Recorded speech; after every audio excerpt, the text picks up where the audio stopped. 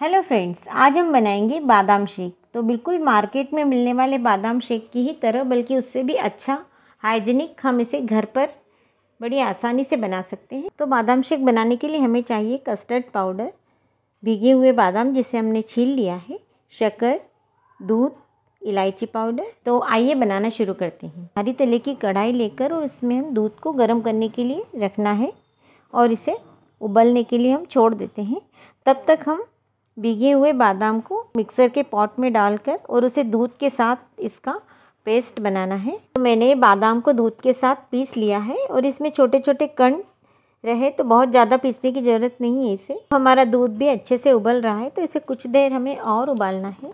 अब यहाँ मैंने फुल क्रीम दूध लिया था इसलिए बहुत ज़्यादा नहीं उबालूँगी मैं इसे। तो चलाते हुए हिलाना है ताकि दूध तले में चिपके ना। अब एक कटोरी में एक चम्मच हमें कस्टर्ड पाउडर लेना है तो बहुत ज़्यादा कस्टर्ड नहीं चाहिए हमें तो सिर्फ़ एक चम्मच ही काफ़ी है। और इसमें हम ठंडा दूध या पानी में इसे घोल कर और इसका पतला घोल तैयार कर लेते हैं। तो मार्केट में जो बादाम शेक मिलता है, उसमें भी कस्टर्ड पाउडर मिला रहता है। अब इसी में मैं केसर को देती हूँ ताकि अच्छे से भीग जाए। तो आप चाहे तो इसे सीधे दूध में भी डाल सकते हैं। ये ऑप्शनल है, अगर आपके पास नहीं है तो आप इसे स्किप कर सकते हैं।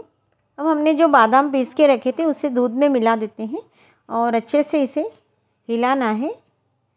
अब इसमें थोड़ा सा दूध डालकर और इसे अच्छे से हमें निकाल लेना है। इसमें डालेंगे शक्कर। तो यहाँ मैं दो बड़े चम्मच, दो से तीन चम्मच शक्कर डाल रही हूँ। आप अपने टेस्ट के अकॉर्डिंग इसे कम ज़्यादा कर सकते हैं। आप इसे टेस्ट करके देख लें, यदि कम हो तो और शक्कर मिला दें। तो हमें एक हाथ से कस्टर्ड का घोल डालते जाना है और दूसरे हाथ से हमें इसे लगातार हिलाते जाना है जिससे कि इसमें गुठली ना आए और इसे कुछ देर पकाना है जिससे कि कस्टर्ड पक जाए और हमारा दूध भी थोड़ा सा गाढ़ा हो जाए।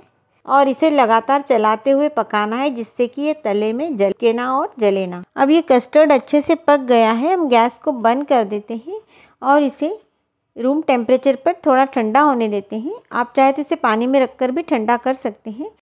तो अभी ये थोड़ा सा पतला लग रहा होगा, लेकिन फ्रिज में रखने के बाद ये थोड़ा सा गाढ़ा हो जाएगा।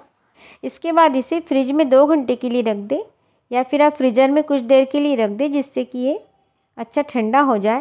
तो अब फ्रिज से निकालने के बाद आप देख सकते हैं, बिल्कुल परफेक्ट कंसिस्टेंसी है, इसी तरह से चाहिए हमें।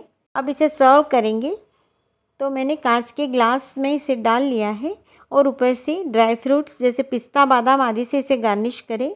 तो ये बिल्कुल ही मार्केट में मिलने वाले बादाम शेक की तरह लगता है। आप इसे एक बार ज़रूर बना कर देखिएगा और वीडियो पसंद आने पर चैनल को सब्सक्राइब करना ना भूलें धन्यवाद।